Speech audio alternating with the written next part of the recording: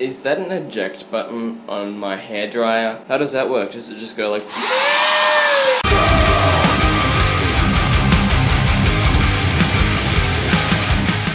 Good evening, my self-imposed. It is Monday, January the 2nd of Monday. I mean, of January 2012. That's the year it is. And guess what? There's a plastic chair in the middle of the room. So it's been a few hours and it's now nearly 3 o'clock in the afternoon. And the only thing that I've done today is establish the fact that there is indeed a chair in the middle of the room. So it's now 5.58 in the afternoon and I've finally made some progress with my day. I am now sitting in the mystery chair.